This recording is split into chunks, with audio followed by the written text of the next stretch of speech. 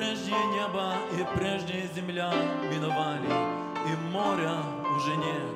И я, Иоанн, увидел святой город Иерусалим, Новый, сходящий от Бога с неба, Приготовленный, как невеста, украшенный для мужа своего.